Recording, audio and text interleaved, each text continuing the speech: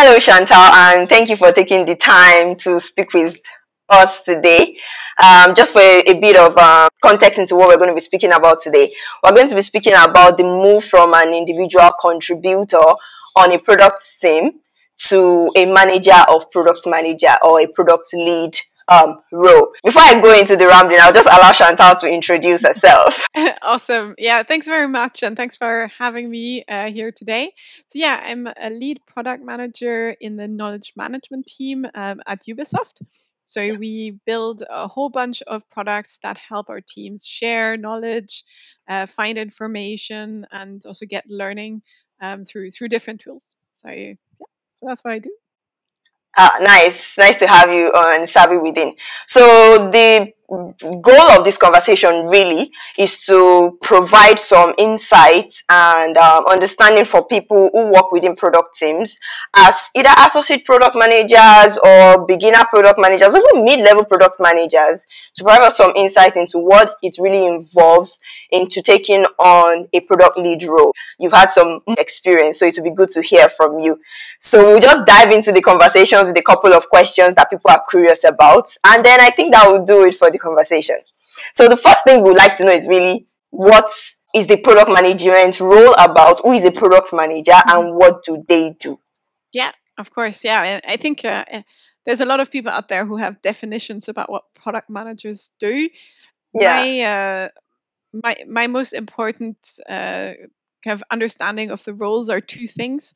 Firstly, that uh, they focus on clarity and making sure everyone has an understanding of what we're doing, where we're going, and why we're doing the things we're doing, why we're building.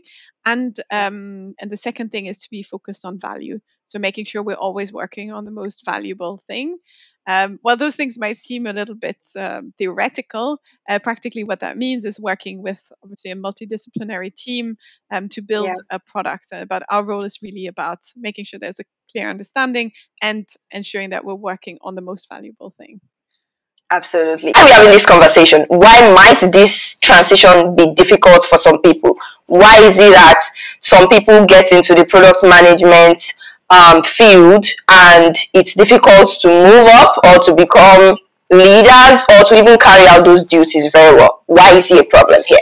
I mean, um, I mean, I think that there's there's several things here, right? I mean, firstly, uh, you know, you, you need a bit of experience to get into into a role where you can manage other people because you you need to really know your craft and being able to to lead other people. So firstly, you know, you need some time to get there.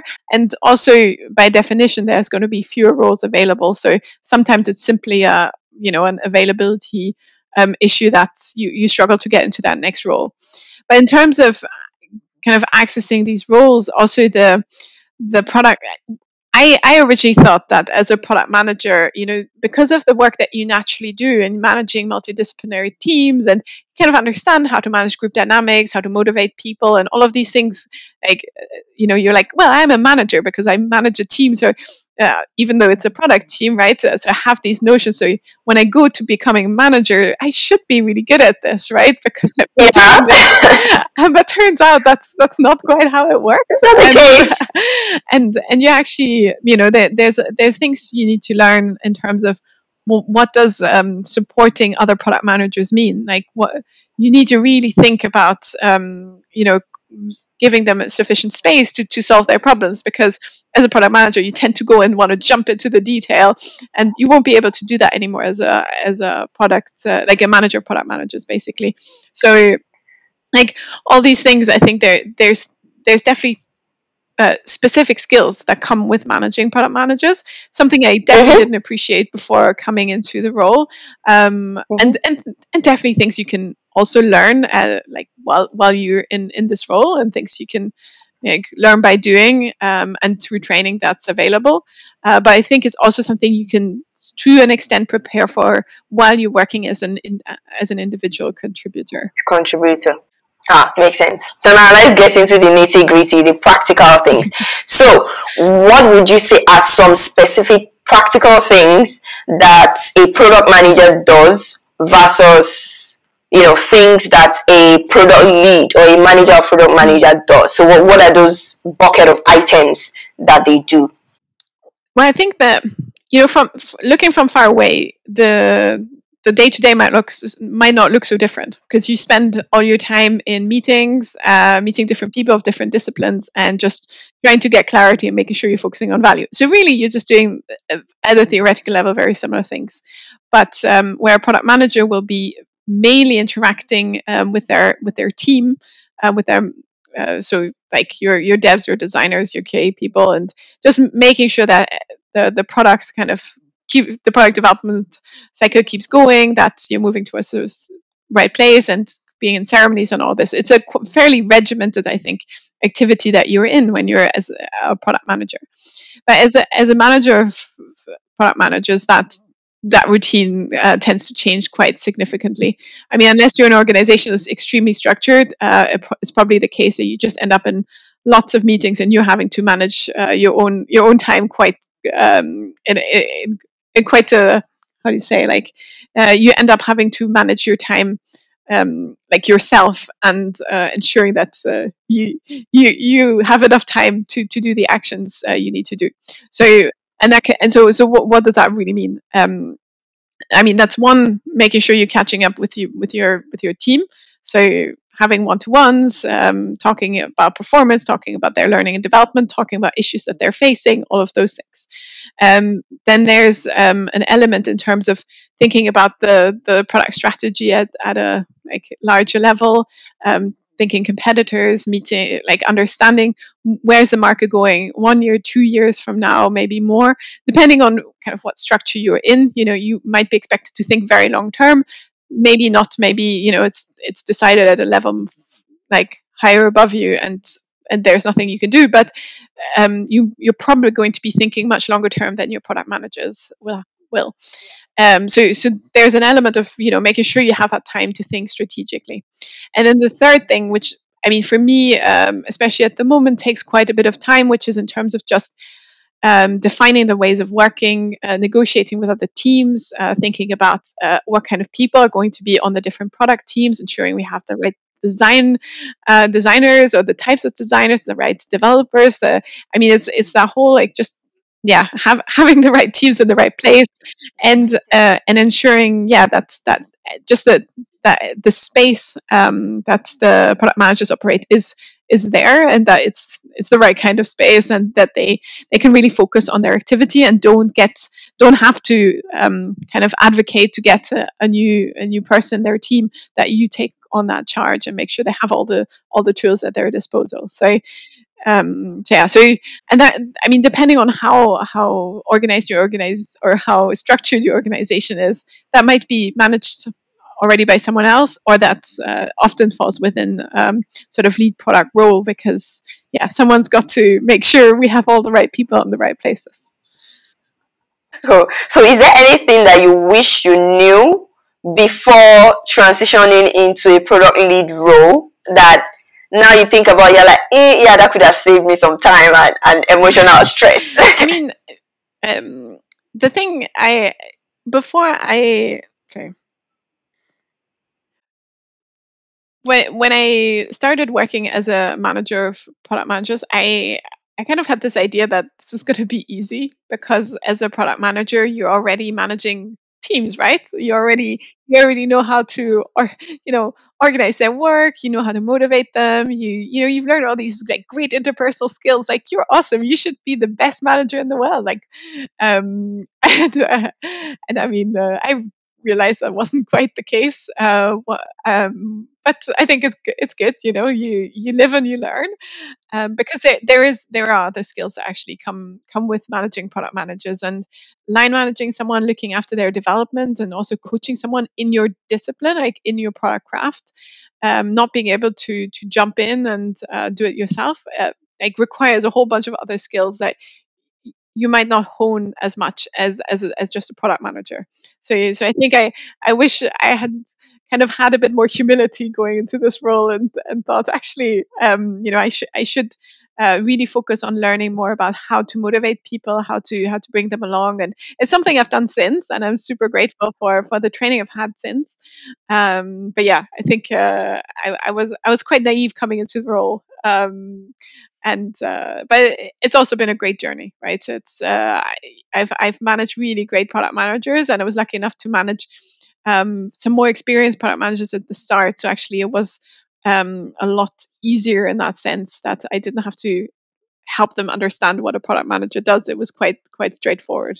Um, and I think there there's there's a difference if you're managing more junior product managers where you're having to uh, being a be a lot more present and being having a much stronger vision about what you think product management is.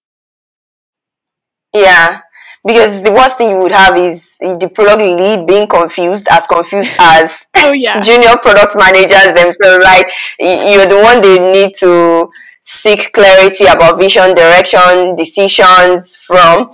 So while there's the place of uh, you know enabling them and driving them to come to their own conclusions themselves, you should also have enough information to be able to like call them to order out, you know, put them in the right direction if they seem to be going yeah. the other way. So yeah, I think that's quite significant. I, think uh, you're you're right there, and it's it's really about uh, having a really strong vision about what product management is and um, you know because because if you don't have that if you don't really think about what the craft is and why we do certain things if you've just gone through the motions because that's just how things work unless your company has a strong idea about what product management is and puts those out and you know most tech companies will have some level of that but not everyone does. In my situation we don't have uh, uh, like a a rule of this is what a product management do- a product manager does this is what they don't do like that doesn't exist and you you're having to yeah kind of make that clear and sure everyone understands and because also that differs from company to company right? Um, newcomer people who come from other places might not understand so yeah being you have to be quite sure about what what you think product management is and being able to explain mm-hmm. that really well. That's that's true that's so true. One thing i also find very funny is that when as a product manager sometimes you get emotionally attached to the aspect of the product that you're managing or the problem that you are solving or managing. So you get emotionally attached because that's what you do on a daily basis. This problem has kind of become your baby, right? And then so it's hard for you to like take a step back every once in a while, especially maybe when you're working in an organization, of course, that has maybe multiple products managers, or you you have different categories of customers or groups of users or different internal stakeholders. It's very difficult for you to detach from that problem that you you've defined, you've tested, that you know that is the best thing since sliced bread. It's very difficult for you to detach when things go south. So I, I think that a product lead also helps with helping you to say, wait, lean back a bit. Um, and they are able to also spot emotional attachments like, okay, this person is quite attached to this problem and they're not seeing the full picture. Let me help here. You know, conflicts arise even between product managers and then, oh, you're not prioritizing my stuff. Oh, mine should take more of the time and things like that. And then the product lead also helps to, like you said, vision, but then put everything in perspective and say, you know, even if you don't have your way right now, it's not the end of the world. You can still achieve the results that you want to achieve if things get delayed and things like that.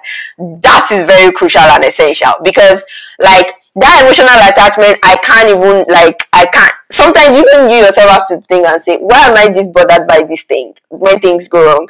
But then you probably just need someone to talk to to say, I really can't get myself out of this feeling. Can you help to just put things in perspective for me? That's very crucial for a. Yeah, I think I think that's very true, and um, I think also in the conversations that you have with with the, with your PMs, uh, it's about asking those questions like, oh, but why is that? Why would that be so bad? And you know, after asking from a quite quite a naive point of view. You know, you don't have to be like, oh, I know everything, and I know, I know, I, I know this isn't as bad as as you think it is. You know, you just you know you have to come a bit more like okay like so, well tell me more about this problem. What, what's the worst that can happen and all of this? And and a lot of the times yeah they can they can they can kind of get themselves out of that um, kind of rut and out of the the emotional attachment quite quite easily themselves. But yeah i think sometimes just take someone else to just have that conversation with and be like she isn't so bad. And yeah i mean uh, no one's going to die if uh, you know this feature doesn't get released this month Absolutely. what might I be trading off? And this time around, I think I'm very curious about the seemingly great things about being a product manager that I might be trading off and may be difficult to let go of when you're transitioning to a product leadership role? Well, I, what are those things? I think mainly it's the you know the the joy and satisfaction you feel when something gets shipped, and um, you know feeling that you've had a real hand in making that happen. Um, I think you know already as a product manager, you're not a doer. Uh, your your your team already does the job, and they're they're actually you know coding, designing, testing, and and you're just orchestrating all that to happen. But of course you you feel a huge sense of pride when a big feature gets shipped a customer comes back and is you know satisfied or you know you see user feedback and it's really good you know all that all that pride you know i think that's what helps us also you know stay motivated every day because you you know you wanting to solve those problems and seeing those problems solved you know it just gives you so much satisfaction um, and that's definitely what you're giving up and um, you know and and you know you you'll still feel a sort of removed sense of pride, you know, when your teams achieve that. But uh, you're you're you're not going to, you know, be able to point exactly what you did and that made that happen.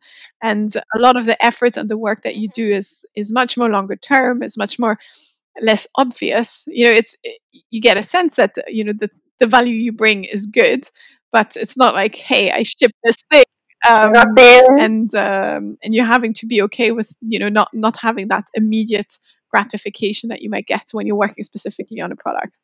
Um, I mean, and I think yeah. also, you know, the the other thing, and um, I feel like sometimes I th- I'd like to be honest about these things, but within product teams, um, we we like to have a really good way of uh, communicating, speaking candidly, you know, having continuous uh, improvements around how we work, you know, using retrospectives to make making sure that we have an open environment where people can just progress, be honest, and just do good work, right? The yeah. more you kind of explore the the world of middle management inside companies, you find that that's not always the case, and um, you know, in some places. You know, you, you might not have as much politics, but politics is definitely a big part of what you're going to have a lot more sure. of. And um, the kind of lovely world of product teams where everyone gets along and people share pizzas. You might not have as much of that into into a role that where you're managing teams. Uh, I'm not saying you're not having that at all, yeah. but we just uh, I think he, you're also having lots of difficult conversations and lots of negotiations and and other things. And I, uh, I think it needs to be said, right? it, it is a reality that uh, you're going to have to confront and. Uh, yeah, I think it. You know, yeah. So I, I know that it might be quite easy if I am transitioning within my current role as a product manager into a product leadership role within the same organization. But you know that there are a couple of people that, you know, they are probably currently practicing as product managers and they see an opening within another organization for a product leadership role and they're like, mm, yeah, I, I like some of that for myself in another organization. So would what would you advise for someone who is vying for a product leadership role in another organization? Because in your organization you can easily understand the power tussle and the politics that play. You can easily ask like, hey, can I be added to this meeting with this client? I just want to get be a fly on the wall to get some insight into what their problems are and how you guys are going to journey about solving that problem. You know, you can easily make those requests in your current organization. But if I see a role within another organization and I feel like I'm capable, even though I have not really, really held that title before, how would you advise I, I that I go really about it? Question, and I'd be really curious to see what uh, like recruitment professionals say about this. In my personal, opinion, so this is definitely my personal opinion and not based on data, but I feel it is easier to move up in in a role within your organization than it is to do it outside because uh, it's going to be really hard to um, to really explain that you have the skills uh, to be a leader or like to be a, a, to be managing other people if you haven't done it before in your current role. Uh, whereas in an or- within an organization, people are much more willing to give you a shot, uh, like and to um, you know to to allow you to just try something out because they they're invested in your development. They want you to stay. They you know they, they they've invested in you already. So um you know they they they'd be more likely to promote someone who's got less experience but just promote someone internal who already knows how things work and has already demonstrated really great things. So i mean it's a very long shot trying to go from say you're a product manager to going to a lead product manager in a different organization.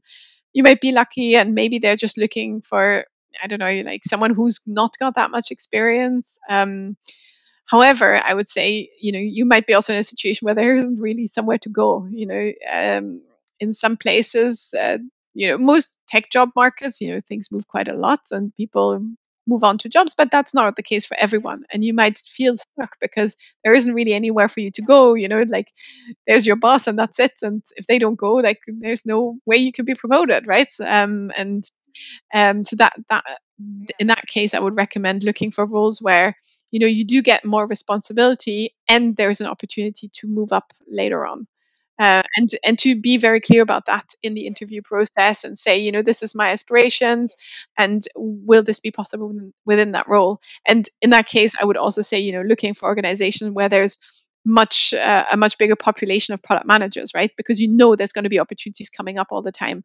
If you're going into a small you know a smaller organization that that might be a lot harder to do or um, in the short short to medium term. Um, so so yeah so kind of thinking strategically about what what kind of organizations you apply for that can also really help you.